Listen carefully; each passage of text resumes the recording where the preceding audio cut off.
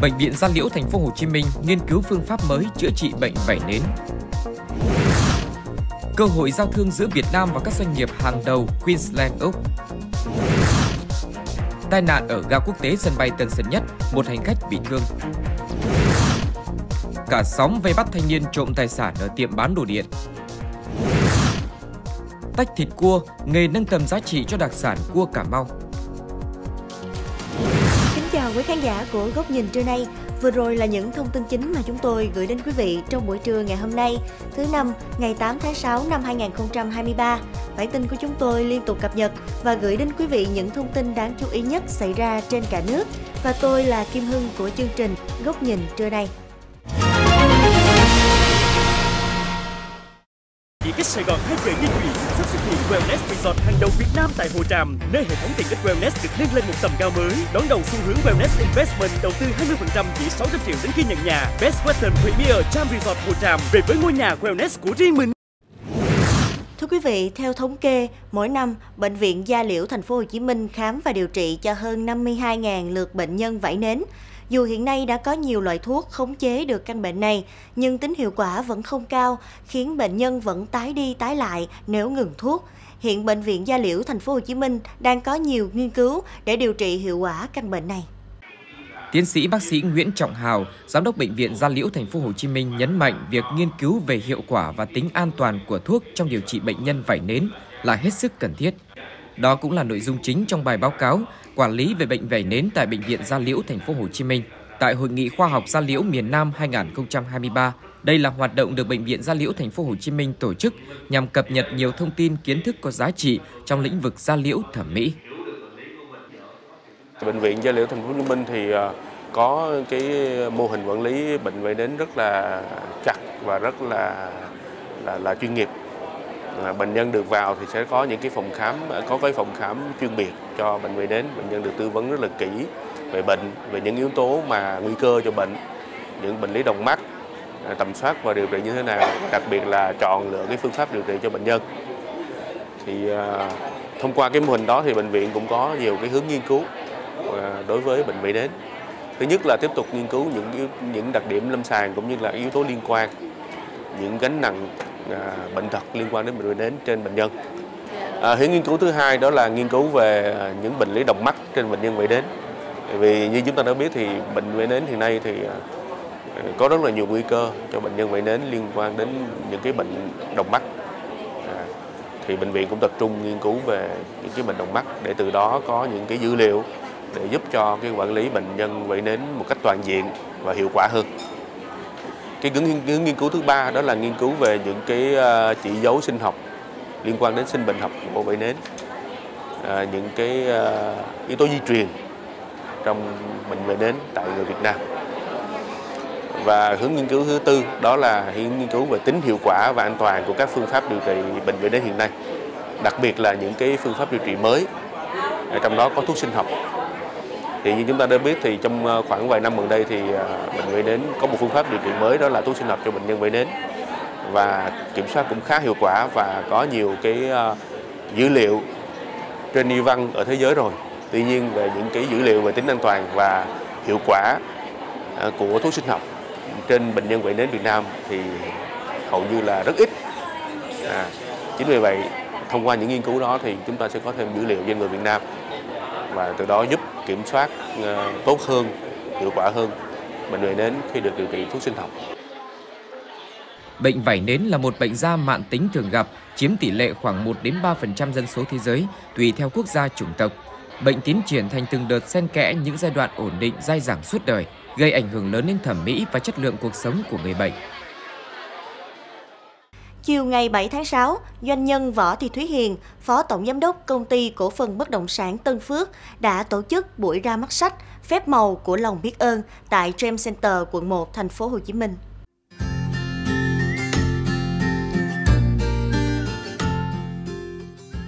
Đây là quyển sách đầu tiên của doanh nhân Thúy Hiền. Quyển sách xoay quanh các câu chuyện về chính cuộc đời của chị, về thời thơ ấu đầy gian khổ, thử thách khi phải xa cha xa mẹ, vừa đi học vừa chăm lo cho các em. Nội dung là nói về lòng biết ơn, phép màu, nói về sự cho đi, sự chia sẻ trong cuộc sống. trong những chuyến thiện nguyện á thì à, mình đi tới vùng sâu vùng sâu vùng xa mình gặp rất là nhiều trẻ em có hoàn cảnh cũng giống như mình ngày xưa vậy cho nên là mình ấp ủ và mình ra cuốn sách này mình muốn truyền tải đến tất cả những người trẻ những à, những học sinh à, cố gắng đừng bỏ cuộc và cuộc sống này các bạn sẽ chạm tới những điều ước mơ của các bạn theo chia sẻ của tác giả Võ Thị Thúy Hiền, chị đã ấp ủ quyển sách này từ lâu và viết nó trong gần 6 tháng qua. Và toàn bộ lợi nhuận từ việc bán sách tác giả sẽ dành làm thiện nguyện.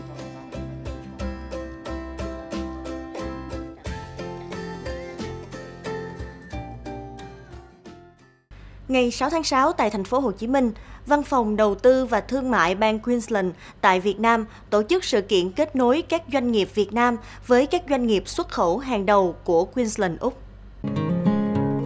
Đây là cơ hội gặp gỡ, giao thương, chia sẻ kinh nghiệm hợp tác giữa doanh nghiệp hai nước. Bên cạnh đó, những thông tin về thị trường, các chính sách hỗ trợ, khuyến khích đầu tư phát triển kinh doanh của chính phủ Queensland tại thị trường Việt Nam cũng được phổ biến trong sự kiện. GIQ sẽ tập trung nhiều nhất vào những cái ngành mà có cái tiềm năng phát triển ở Việt Nam. À, thứ nhất là bao gồm những ngành về thực phẩm, đồ uống. Thứ hai là cái ngành à, phát triển nông nghiệp à, công nghệ cao. À, thứ ba là về năng lượng à, sạch.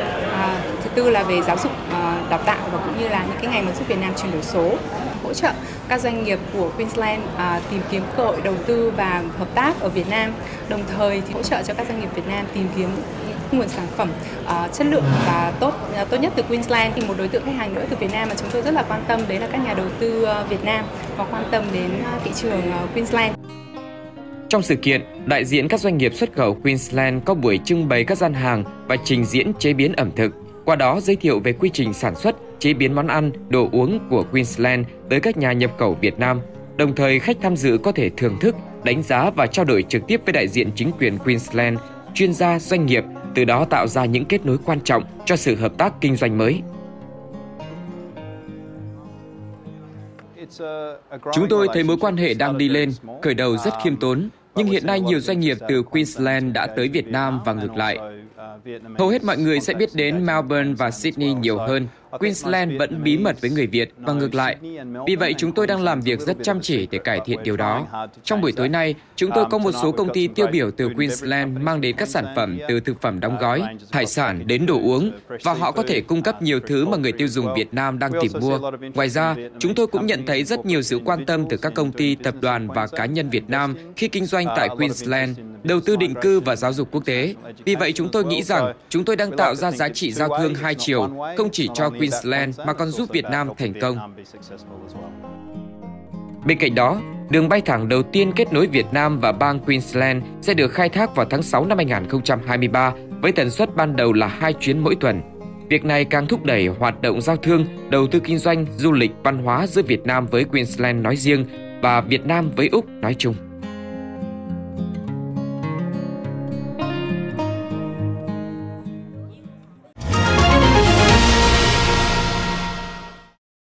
Ngày 8 tháng 6, Công an quận Tân Bình, thành phố Hồ Chí Minh vẫn đang tiếp tục điều tra vụ một xe ô tô tông trúng một hành khách khi đang qua đường tại nhà ga quốc tế sân bay Tân Sơn Nhất.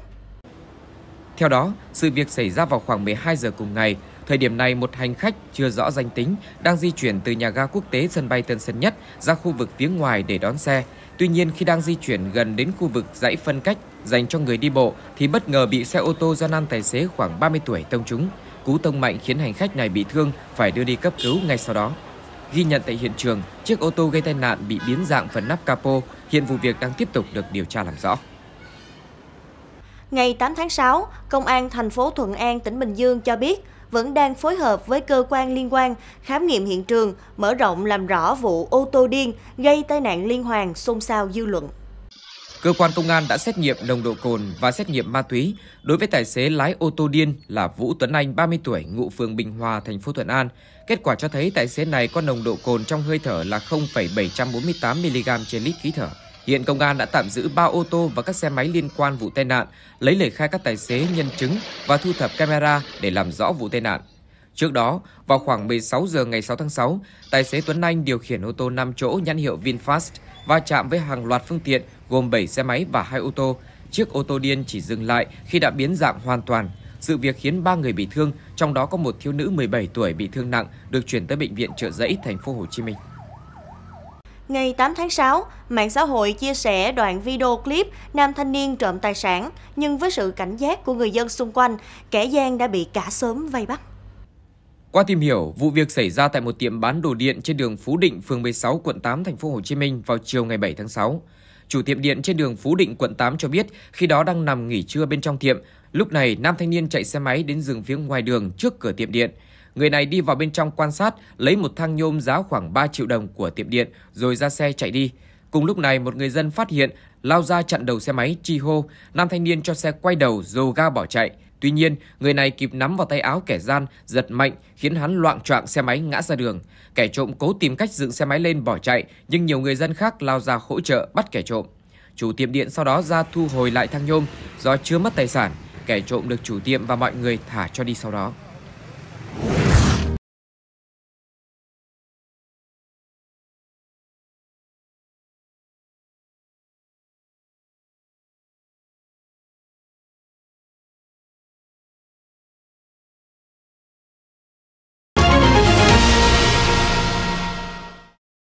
Thưa quý vị, huyện Nam Căn, tỉnh Cà Mau có dòng sông cửa lớn chảy từ Biển Đông sang Biển Tây. Sông ngòi, kênh rạch chằng chịt đã tạo cho vùng đất này sự đa dạng và phong phú về các loài thủy hải sản. Đặc biệt, cua Nam Căn vang danh cả nước về độ ngon ngọt và chắc thịt. Tận dụng lợi thế đó, Hợp tác xã Tài Thịnh Phát Farm đã tạo ra nghề tách thịt cua độc đáo, tiện dụng cho người tiêu dùng. Mời quý khán giả theo dõi ghi nhận của phóng viên chương trình. Chị Mai Thị Thùy Trang, giám đốc hợp tác xã Tài Thịnh Phát Farm, xã Tam Giang, huyện Nam Căn là người tiên phong trong việc mở rộng thị trường, tìm đầu ra cho các sản phẩm cua. Xuất phát từ sự trăn trở làm sao để sản phẩm cua có thể đi được xa hơn, nhiều người biết đến hơn, chị Trang đã bỏ phố về quê gây dựng sự nghiệp. Ban đầu chị Trang cho thử nghiệm vài chục ký cua, bóc vỏ, sau đó đi cấp đông để hoàn thiện quy trình. Sau những lần thất bại, chị dần đúc kết được những kinh nghiệm cho các khâu sản xuất của riêng mình. Hiện tại, cơ sở sản xuất của chị giải quyết được việc làm cho hàng chục hộ dân ở địa phương. Trung bình mỗi ký cua sau khi bóc vỏ sẽ còn được 150g thịt cua.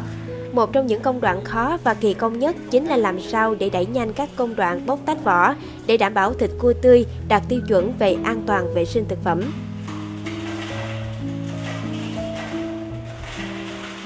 Để mà cái chất lượng sản phẩm thành phẩm chất lượng đến người tiêu dùng ok nhất thì mình phải chọn nguyên liệu nguyên liệu cua đánh bắt lên. À, đúng cua của năm căn cà mau dùng nguyên liệu của tại tên phát farm đang quản lý. Thì đánh bắt lên phải cua cái còn tươi sống sau đó đưa vào gia nhiệt làm sạch rồi gia nhiệt. Gia nhiệt rồi phải có công đoạn là lấy thịt.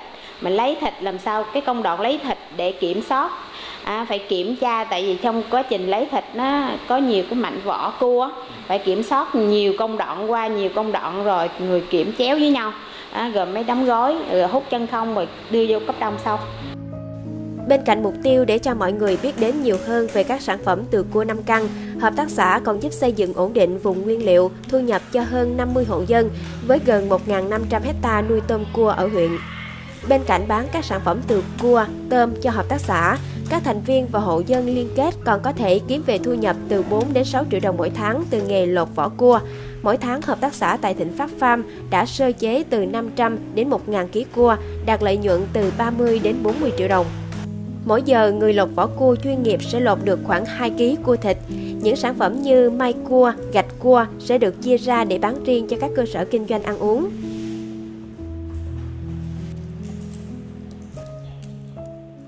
Trước đây thì à, ở đây thì gia đình của mình là làm vuông.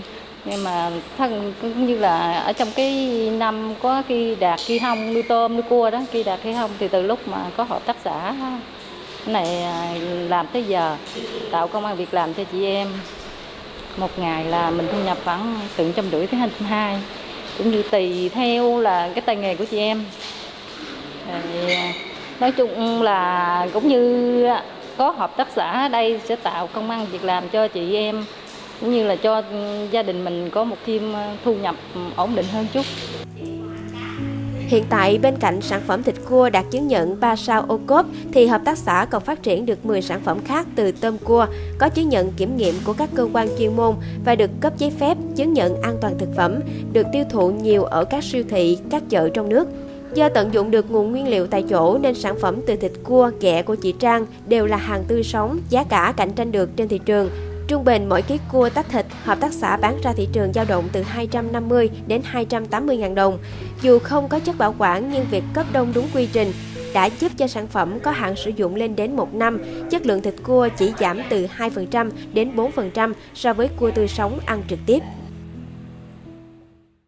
Những thông tin vừa rồi cũng đã khép lại chương trình của chúng tôi ngày hôm nay. Quý vị hãy nhớ dành ít phút mỗi buổi trưa đón xem chương trình Góc nhìn trưa nay vào 11 giờ 30 phút mỗi ngày trên trang video.tuổi trẻ.vn. Mọi đóng góp cũng như thông tin liên quan, quý vị có thể chia sẻ thông tin về địa chỉ email thời sự tvo a tuổi trẻ.com.vn. Chương trình do truyền hình báo tuổi trẻ thực hiện với sự đồng hành của Cham Group. Xin được kính chào và hẹn gặp lại.